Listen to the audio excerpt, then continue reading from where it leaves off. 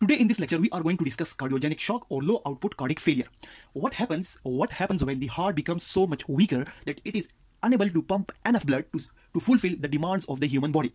Normally in the human heart what happens is that the blood starts coming from the body through the different uh, vein, veins and it comes to the right atrium. From the right atrium blood goes into the right ventricle. From the right, right ventricle blood goes into the lungs.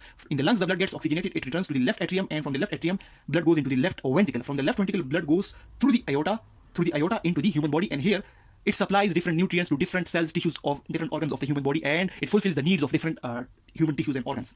Now, if the heart is unable to pump properly, then it will not be able to pump enough blood through the circulation and enough blood and proper amount of blood will not be coming to the different human body tissues and organs and all the cell all the cells all the tissues all the organs of the human body will suffer due to this lack of blood and lack of nutrients and this condition is known as cardiogenic shock.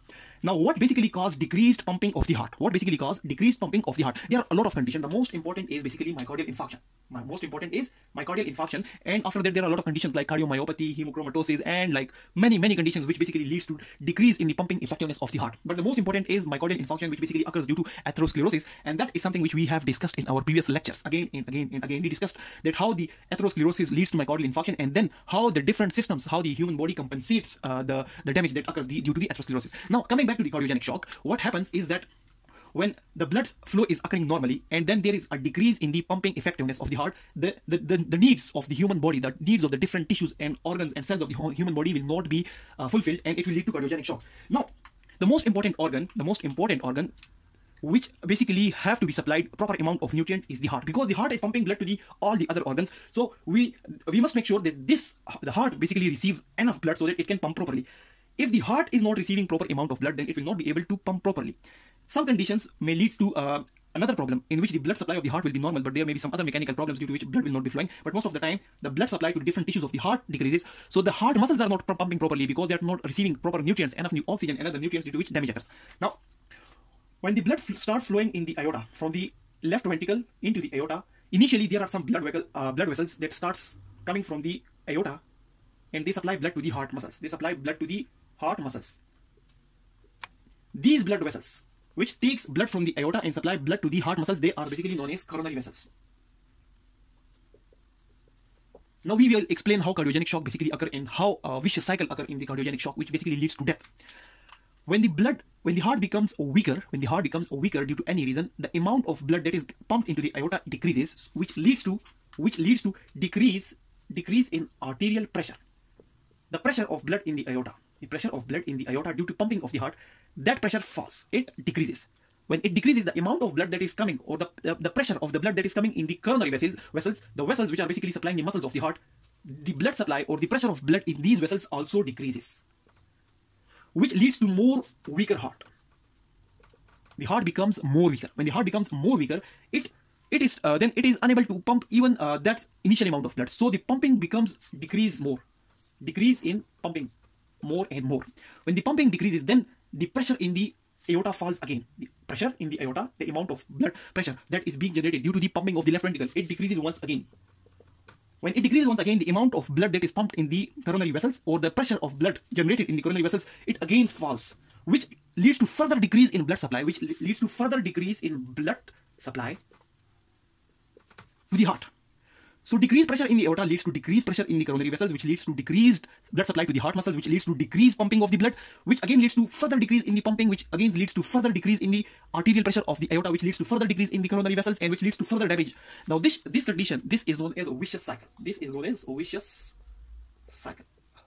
I have some sinus problems, so I am unable to talk properly. So now this condition is basically uh, when this condition occurs, this vicious cycle when occurs, it leads to death when this occurs, the cardiogenic shock occurs, in which there is a vicious cycle occurring, this condition leads to death in around 85% of the people. Now, if it has occurred suddenly, for example, suddenly there was a decrease in blood in the coronary vessel because of some blockage, because of some blockage in the coronary vessels due to myocardial infarction, you know, some, then acutely some interventions have to be done like percutaneous coronary intervention. In this this clot is removed. Now if this clot is removed then the the chances are that the cardiogenic shock can be treated the patient will recover. But if some big steps are not taken initially like uh, one is percutaneous coronary intervention, another is supplying more fluids. so that the arterial pressure increases. So that arterial pressure, because the arterial pressure has fallen here, so we put more fluid into the system, which basically increases the arterial pressure, which will basically help in increasing the coronary circulation. Now there can be a lot of uh, more uh, treatment options. We are not going into the treatment option. We are just going to explain the physiology of the cardiogenic shock. Now, what happens when this cardiogenic shock occurs in those people in whom there is already some blockage of the coronary vessel, in whom there is already some blockage of the coronary vessel.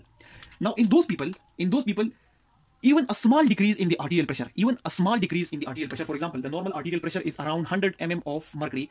In those people, even a 10 to 15 millimeter of mercury fall in arterial pressure will lead to cardiogenic shock. But in normal people, in normal people in whom the coronary blood vessels are normal, in those people, the coronary vessels, the arterial pressure has to decrease to around 45 to 50 millimeter of mercury. Only then the vicious cycle which leads to cardiogenic shock will occur. So it shows again that the more the damage in the coronary vessel, the more the decrease in the more the decreased blood flow in the coronary vessel, the more the chances of the cardiogenic shock, the more the chances of the vicious cycle, which leads to a death.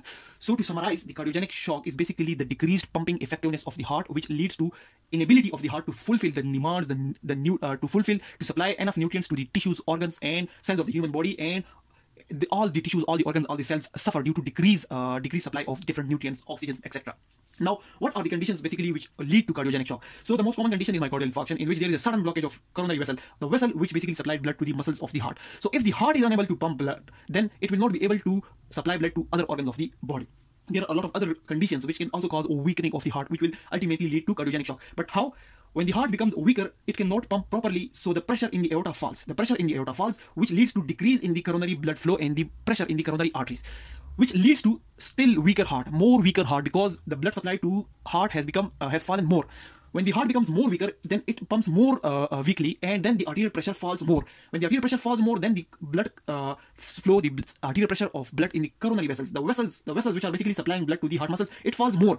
Due to which the heart, the damage to the heart occurs more and more, and the arterial pressure falls more, or fall again and again. And this condition, these conditions lead to so much decrease in arterial pressure that it is labeled as cardiogenic shock, shock which basically occurs due to decreased pumping of the heart, and this occurs, this condition occurs, and uh, this condition occurs when there is damage to the heart and it occurs quickly when there is some damage already present in the coronary vessels. When the coronary vessels are already damaged, there is some blockage in the coronary, uh, coronary vessels already present, present, then when the heart receives decreased blood, then it will not be able to pump, uh, pump properly because there is already damage in the heart and even a small decrease, even a small decrease in the arterial pressure will set in this cardiogenic shock in which a vicious cycle of death occurs. But if the coronary vessels are normal, then the arterial pressure needs to fall uh, around 40 to 50 percent only then this cardiogenic shock will occur. So basically i've tried to explain what basically leads to cardiogenic shock and how the vicious cycle of cardiogenic shock basically leads to death. Thanks a lot for watching the video